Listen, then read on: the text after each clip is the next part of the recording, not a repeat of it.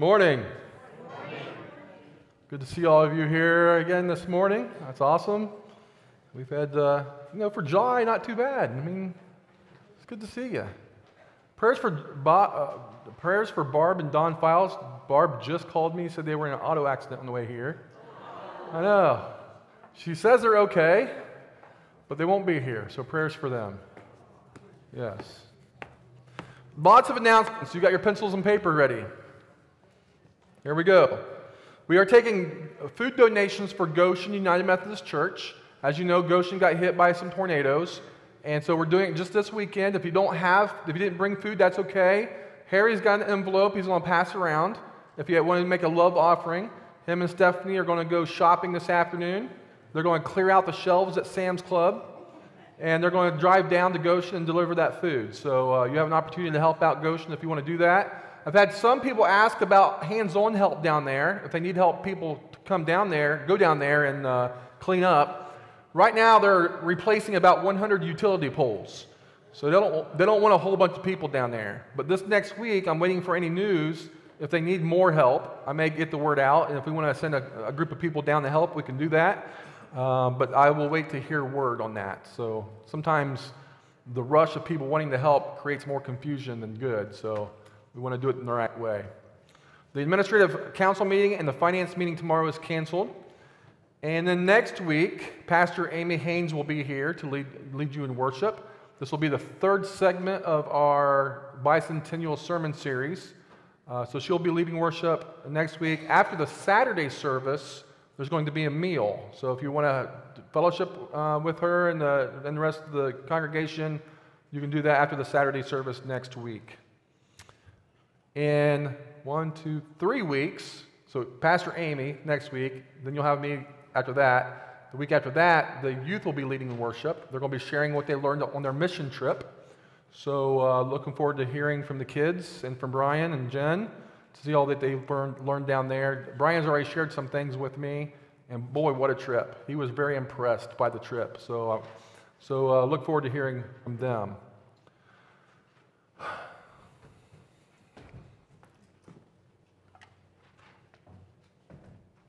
Ready? Are you ready?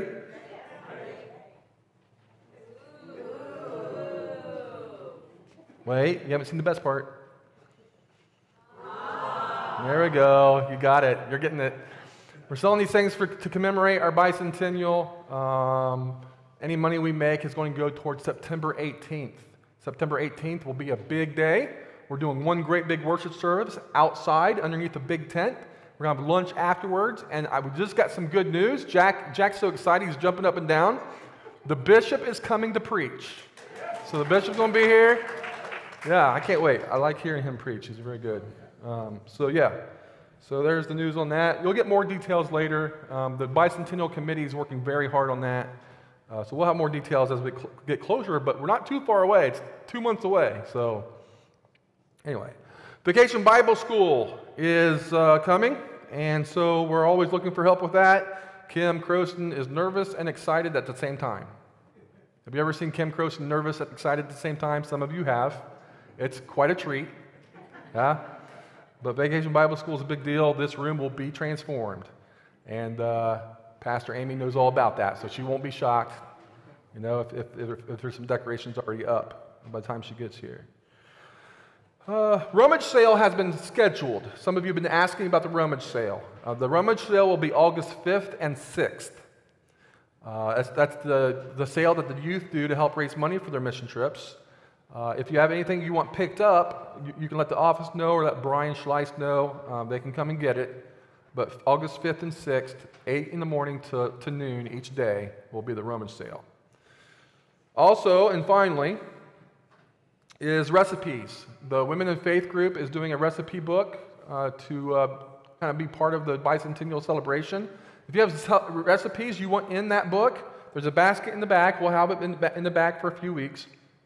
Write, it, write your recipes down, put it in the basket, or you can contact Mary.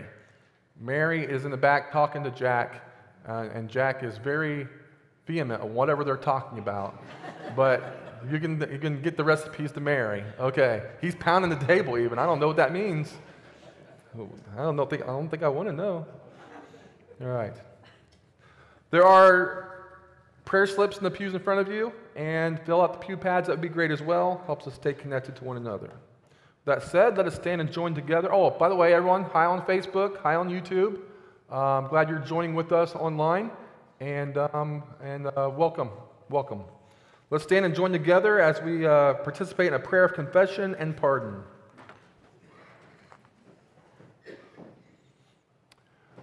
When we do not listen to your voice in the depths of our own hearts, calling us to love and forgive. Lord, have mercy. When we do not listen to your voice in our common life, calling us to welcome the stranger and create community. Christ, have mercy. When we do not listen to your voice in our world, calling us to work for justice and to make peace. The word is very near to us, in our hearts and on our lips. In Christ, we are forgiven, our lives are made new, and our future of hope is restored. Thanks be to God. Thanks be to God. Amen. Let's join together our opening song.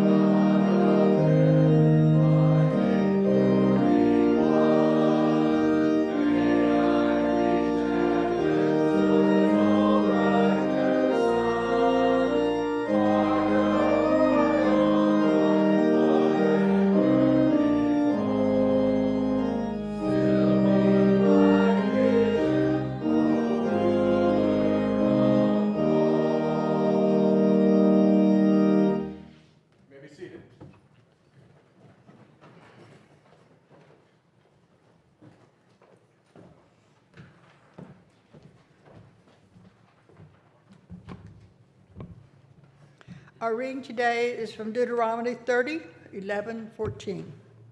Surely, this commandment that I am commanding you today is not too hard for you, nor is it too far away.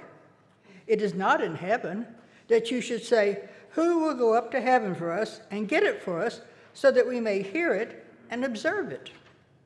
Neither is it beyond the sea that you should say, Who will cross to the other side of the sea for us and get it for us so that we may hear it and observe it?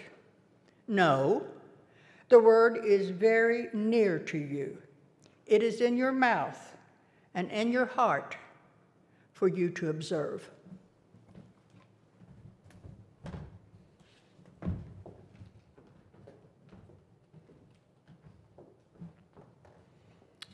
Let's bow for a word of prayer. God, we, uh, we do invite you into our midst, uh, not only as your word is spoken, but also as your word is proclaimed. Uh, help us listen, help us learn, and help us apply our learnings uh, on this day. In your son's name, amen. All right. Well, I feel weird because the choir's supposed to sing, and I, I'm going to go right into my sermon. Is that okay? I mean, this might mean you get out a little early. Is anybody upset by that? Not a, not a single person's upset about that. Okay. Um, did you know that you have great potential for doing a lot of good? You have great potential for doing a lot of good. Every single one of you. And sometimes you do it. No? We're helping out Goshen. The moment has come. We do a lot of good. Um, but sometimes you have great potential for doing a lot of good, and we don't do it. And there's reasons why we don't do it. In fact, we come up with a lot of creative reasons about those moments when we don't do a lot of good, when we could be doing a lot of good. Um, now, I say reasons. That's the nice word. The not so nice word is what? Excuses. So, so I'm going to I'm gonna let you help me out because you have, you have a wonderful list of excuses. And I want to hear some of your excuses of why you don't do good when you have a chance to do good. What are some of your excuses? Go. Too busy. Too busy. Too tired. Too tired. Too poor. If I just had more money, I could do a lot more good. Man, do you know how much good I could do if I won the lottery? Wow, I could do a lot of good. But I haven't won the lottery, so I guess I won't. What else? Afraid. Too afraid. All right.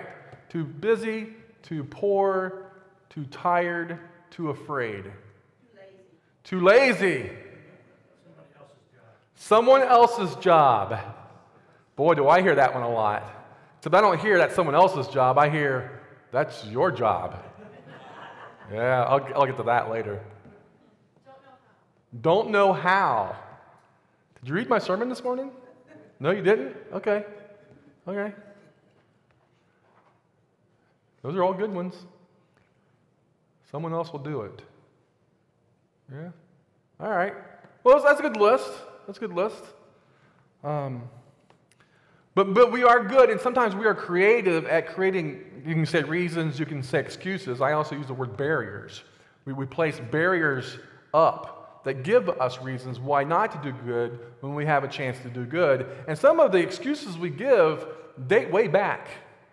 Some of the excuses we give date way back. In fact, some excuses are so popular, they date all the way back to Old Testament times. And so, what I want to do is, I want to talk about two of those excuses that we use so that we can move them out of our way and look at how God can empower us and equip us to, to live into the potential for doing a lot of good. Because every single one of you have a lot of potential to do a lot of good. Amen? Yeah. So, if you read the scripture, sorry, Daniel, I'm, I'm, I'm, I'm, I'm, I'm juking. Um, one of the questions was who's going to go to heaven to find out what we're supposed to do? That, that was in the scripture, something to that effect. Well, you don't have to go to heaven to find out what you're going to do, but we use that as an excuse. But we word it differently. Okay?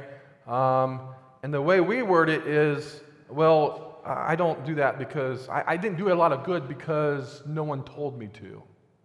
Does any, of, does any of you sit back and wait to be told to do something before you do it? Because that is a habit of some. And that habit goes way back as well. Um, all the way back to Moses. You know, when Moses freed the slaves from Egypt, they sat around, they waited for him to tell them what to do. He said, Hey, we're just going to cross that sea. Don't worry, the water's going to part. We're going to go right across it. Well, okay, Moses. And Moses said, Hey, no, gather food in the morning, but don't gather food in the evening. Okay, Moses. And then Moses said, Hey, I'm going to go up to the mountain, and I'm going to come back and tell you what to do. Okay, Moses. So Moses goes up on the mountain, and while Moses is on the mountain, Aaron gets up and says, Hey, let's make a golden calf. And you said, Okay, Aaron. And so you made a golden calf. And Then Moses comes down, sees that you made a golden calf. He's all mad. He breaks the tablets. And now what? Now you don't know what to do. So you got to wait for Moses to go back up on the mountain to get the commandments to come back down. So, so they got in the habit early on of just waiting around, waiting for their leader to tell them what to do. And so the popular excuse evolved into, well, I don't do any good because no one's told me what to do yet.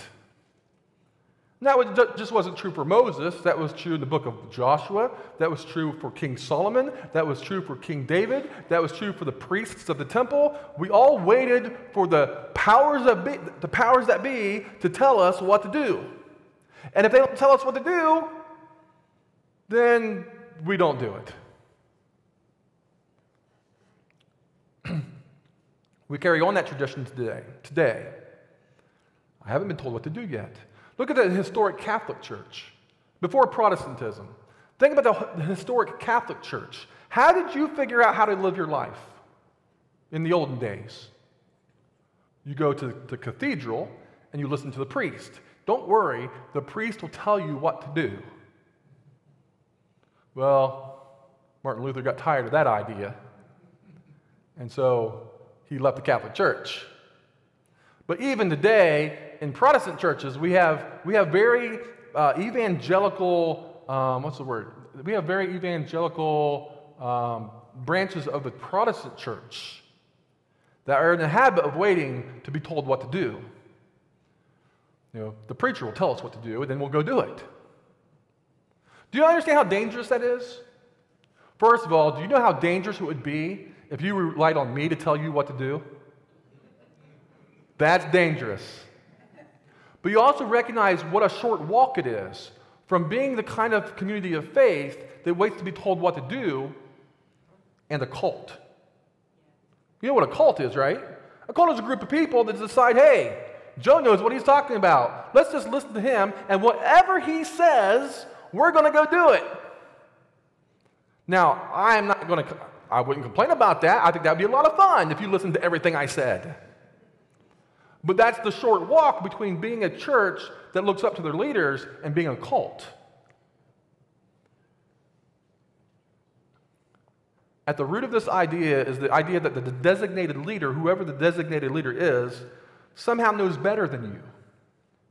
As if it, this person is somehow higher in authority or power or whatever, whether it's a prophet or a king or a priest or a self proclaimed messenger of God. I mean, how do you think the whole David Koresh situation took place? It, they, they took that short walk. Um, now, it's easy for you if you take that approach, right? Because if all you do is you do what you're told, then you have no responsibility in it, do you? Because you're just doing what you're told. Um, boy, that, that makes it easy. And if, if, if you're right or you're wrong, it doesn't matter because you're just being told to do it. So it's not you messing up, it's me messing up. Yeah, I don't go for that. The approach created is a perfect excuse, not just for churches, but especially for kids. When I was a kid, I used this excuse a lot. No one told me to do it. Joe, why didn't you help that lady with groceries? No one told me to do that. Joe, why didn't you hold that door for the gentleman? Oh, I'm sorry, no one told me to do that. Joe, why didn't you clean your room? No one told me to do that. Yes, I did, five times. I don't know how old I was, but eventually that excuse stopped working. When mom finally said, you know what? Use your brain. You know what you're supposed to do, just go do it. The word is very near you, it is on your lips, it is in your heart, so that you may obey it. Do you know Jesus? Do you know Jesus well? Then you already know what good is. Just go do it. The potential to do a lot of good is within you. You don't need the approval of a prophet or a king or a priest or a pastor to do something good. Do you know Jesus? Then you know what good means. Go do it. This is the United Methodist Church. And here's one of the reasons I love the United Methodist Church the pastor is not in charge. Now, I want you to hear me closely on this. In the United Methodist Church, the pastor is not in charge. You are in charge. The United Methodist Church, the Methodist Church was a lay movement. A bunch of people got together and say, hey, let's start a church. It wasn't, it wasn't clergy driven, it was lay driven. You know, I, I just work here.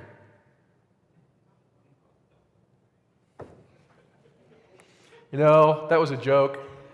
And the, and, and, and, and, and, and, the 5.30 service last night, there wasn't one single laugh. And I thought, you know what? It's okay. They missed it. Uh, it's okay. I got two more chances. So the 9 o'clock service, I said, I just work here. Not one single laugh. Not one. I'm like, okay, one more chance. One more chance. And I, and I said it, and I heard, I think, two chuckles, but I think one was planted. I think.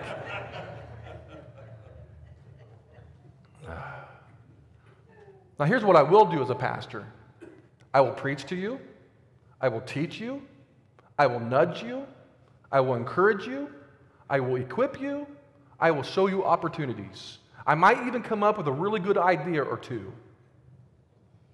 But if you know Jesus and you know Jesus well, you don't need me to tell you what to do. Just go do it. Now, you think that might be dangerous. Well, it could be dangerous because if you don't know Jesus well, you might do the wrong things. But we have examples in this church where the late you who are in charge went and did and do good things. No, we have an endowment now. That, the endowment, where we're, we're, we're, we're saving and we're investing money to help missions ministry generations to come. That wasn't my idea. Some of you are under the impression that was my idea. That's not my idea. A layperson came to me and said, Hey, I have an idea for an endowment. And, and, and a couple more people heard this idea and they said, Oh, that, that, that's a good idea. And we, then we got together and we had a church meeting, not a meeting. We had a church meeting and we said, Hey, that's a good idea. All I'm doing is I'm preaching and teaching and, and talk, talking to you about it. That's you. Good for you.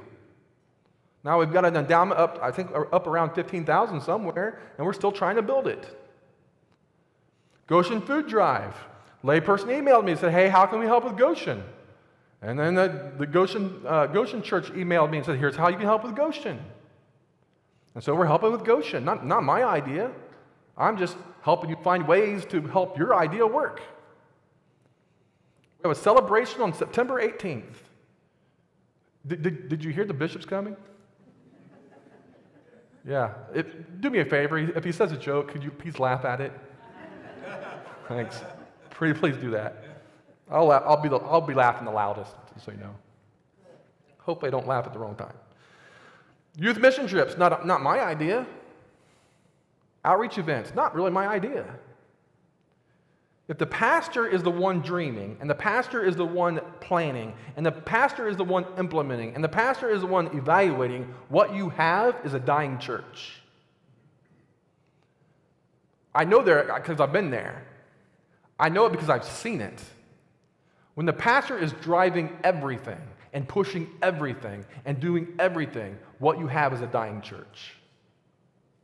Right, Doug? Yes. Yes.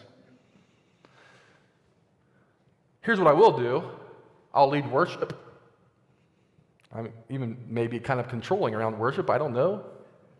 I'll administer the sacraments, baptism, Holy Communion. I'll teach Bible study. I'll lead membership class. But the rest of my time is spent equipping you to go do and live into the potential for doing a lot of good. The word is very near you, it is on your lips. It is in your heart so that you may obey it. And if you know Jesus, and you know Jesus very well, and by the way, if you don't, that's a different sermon, if you don't, but if you don't, you can come talk to me. I'll introduce you to him. He's really nice. But if you already know Jesus and you know him well, then you already know what to do. Go and do it. So the first excuse is, well, I haven't been told what to do yet. Doesn't work. Because we believe in the Holy Spirit that teaches us. Second excuse, you ready? This is, this, is the, this is a better one. I hear this one a lot. By the way, there's a lot going on right now. I mean, there's a lot of chaos right now, right? I mean, we've got the Ukraine war, we've got uh, inflation, um, uh, we've got hot weather. Um, how many of you have kids at home that you're just super busy, got to go and take your kids here and there. Tell you what, let's just let everything calm down. And when everything calms down, then we'll go do a lot of good. Deal?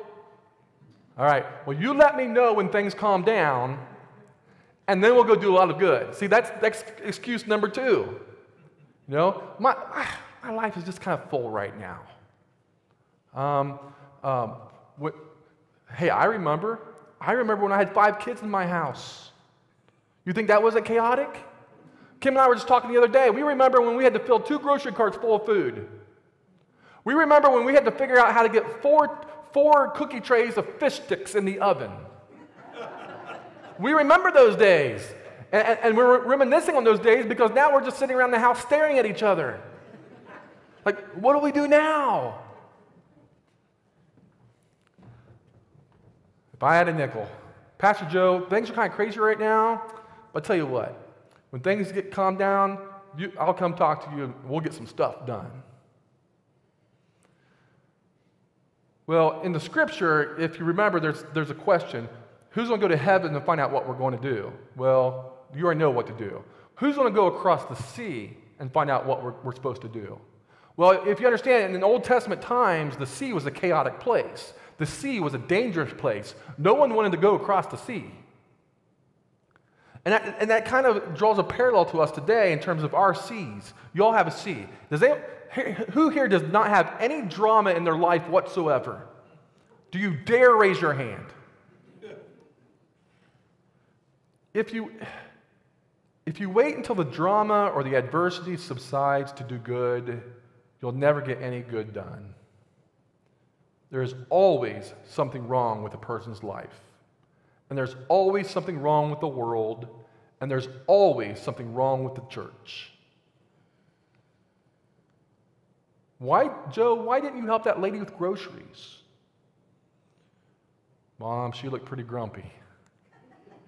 She kind of scared me. I was afraid to ask. Joe, why didn't you hold the door open for that gentleman? Mom, I was late for class. I got things to do. He knows how to open doors. He'll be fine. I got to get to class. Joe, why didn't you clean your room? I didn't feel good, Mom. The good that is in you is what is needed now in a world that is full of drama. If the world was a perfect place and the church was a perfect place, there would be no need for you to do any good. Your potential is there for a reason. The world needs it now more than ever. The church needs it now more than ever. And we have two, two examples I want to point out to you. One is in our past and one is in our future. The first one is about COVID. Remember when COVID first hit? When did COVID hit? Spring of 20, is that right? Uh, Terry, Terry Bishop said, was it March 20th, 2020? I think is what she said. She had, she's got the date etched in her head. And you remember when it first hit, all the churches everywhere shut down? I mean, there was nothing going on in any of the churches. Now, I wasn't here then, but I was at Emmanuel then, and when it happened, we shut down entirely. And maybe rightfully so, because our thinking was, yeah, you know, it's a, it's a, it's a, it's a disease, and don't worry, a couple weeks it'll be over. Remember thinking that? In a few weeks, we'll get back to normal life will be good. Then we can get back to being the church. And one week went past, and two weeks went past. And I don't know about you, every church was a little different, but for us at Emmanuel, after two weeks, I started thinking about a question Where is the good news needed more? In a world full of COVID or a world without COVID? Where is the good news needed more. And not only was I starting to ask that question, but along the way, lots of pastors and lots of churches were asking that question. The same question in different ways, maybe. But, but what we got was pastors and churches finally realizing, you know what? The world full of COVID needs good news a whole lot more than a world without COVID. We need to figure out how to be the church in a world full of COVID. How do you become a church? How do you become a church when you're not supposed to meet with one another? Well, we got creative. what is it? Necessity is the mother of all invention.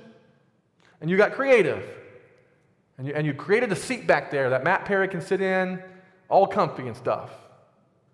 But every church found a way, if they survived, to be creative about sharing good news in a world full of COVID because a world full of COVID needed good news.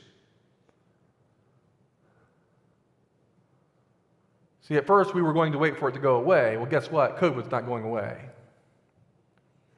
We realized at some point that it wasn't going away. And if you haven't realized it yet, realize it now. COVID's not going away. In fact, I just got an email last night. You know, Chuck Novak had COVID. He's getting over it. Now Donna's got COVID.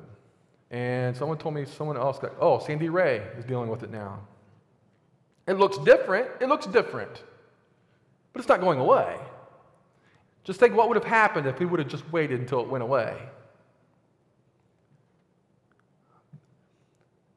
Adversity, drama, chaos does not excuse you from doing lots of good.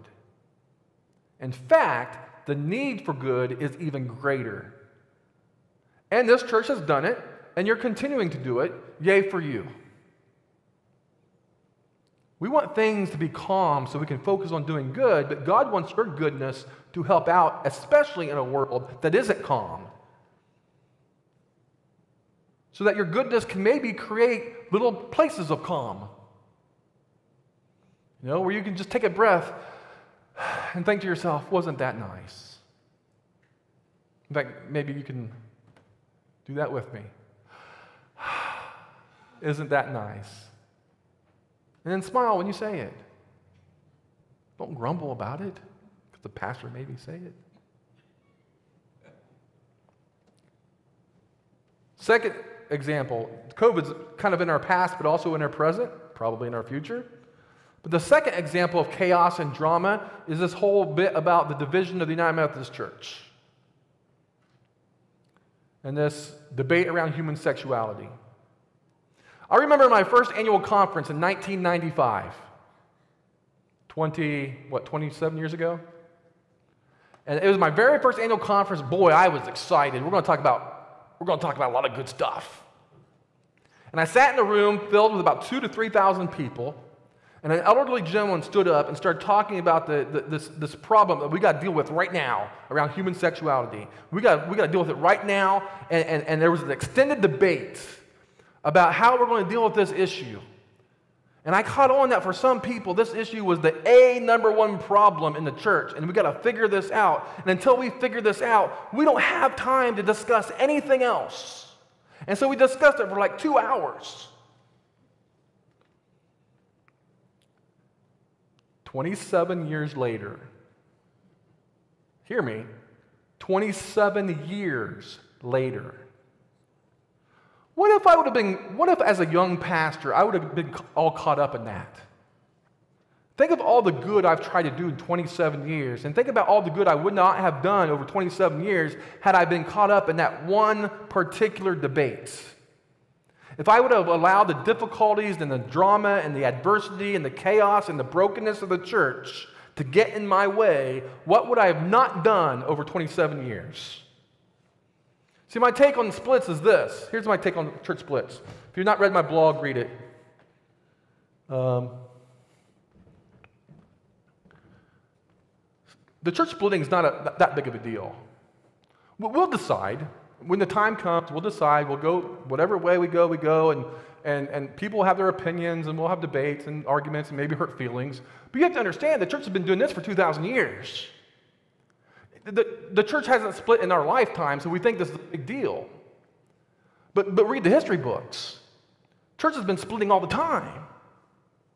To, to me, it's not that big of a deal. We, we, we just kind of got to get over ourselves a little bit. Here's the big deal the big deal is this. In the midst of our brokenness, and the church has always been broken, in the midst of our brokenness, how much good are you going to do? That's the big deal. Because some churches get so caught up, so caught up, they forget to do the good. And so it's going to be intriguing for me to wait and see what happens in, in the congregations in our denomination? How many churches get so distracted that they forget to build the kingdom of God and make disciples of Jesus? Those are the churches that won't be very effective in the long run. In the midst of the chaos, how much good are you going to do? Building the kingdom of God in the midst of the brokenness are the churches who will be most effective in the long run. Um, churches that can stay focused on doing good things will be most effective in the long run. Uh, and if you know Jesus, and you know Jesus really well, and I, just, I know some of you do, then you already know what to do. Go do it. So, so my, my, my take on this is this we're going to stay focused on the main thing. Now, how are we going to stay focused on the main thing? Well, you, you, you, some of you know what our, what our focal point is. What's our focal point? If you can say it, you win a million dollars. What's our focal point? How, where do you go to find our focal point?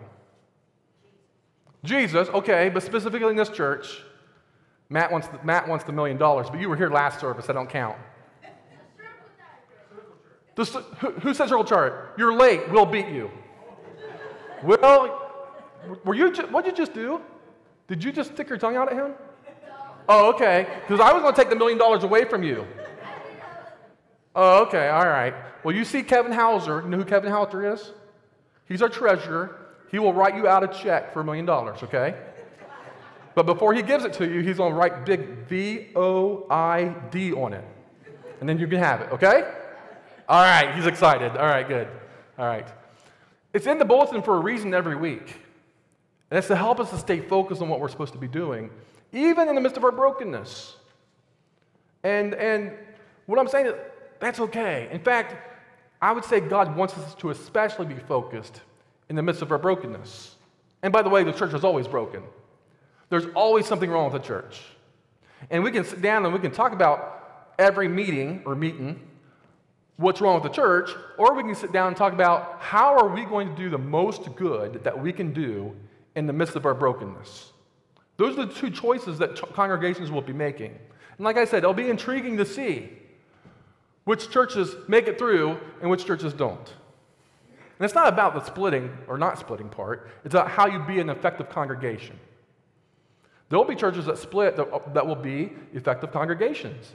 And there'll be churches who don't split that will be effective congregations. My prayer for you is that you live into your potential for doing good things. And if you know Jesus, you know what those good things are. We're, we're, we're, in the, in the, we're in the process now of creating a group of people that want to sit around the table and just talk about what it would mean to, to live into the potential for doing good things. We've already got a group of people of, I don't know, eight or nine or so are in the group now. If you want to be a part of that group, let me know. If you are a person who likes to sit around the table and just talk about what ifs, like in a good way, and just talk about dreams in a good way, this group's for you. Let me know, and I'll add you to the list. End of August, sometime in the middle of September, we're going to have that meeting. And we're going to sit around the table, and we're just going to dream what ifs. Okay? Okay. I'm excited. Some of you are now too. Some.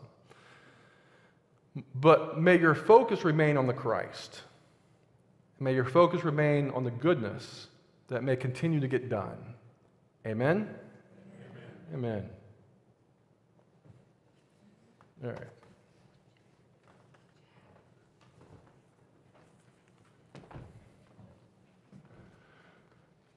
Sweet hour of prayer, sweet hour of prayer, the joys I feel, the bliss I share of those whose anxious spirits burn with strong desires for thy return. With such I hasten to the place where God my Savior shows his face, and gladly take my station there and wait for thee, sweet hour of prayer.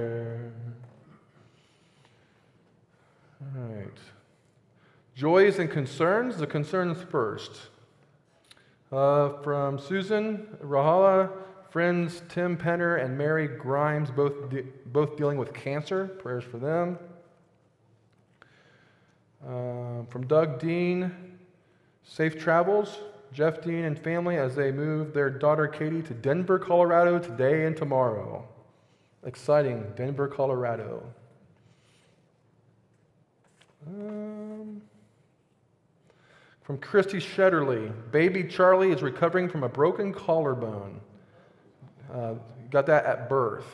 Uh, I've heard that before. Sometimes it happens. Um, and also battling reflux issues, so prayers for him. Also, family and friends of Bernie Purnell, Pennell, who passed away this week.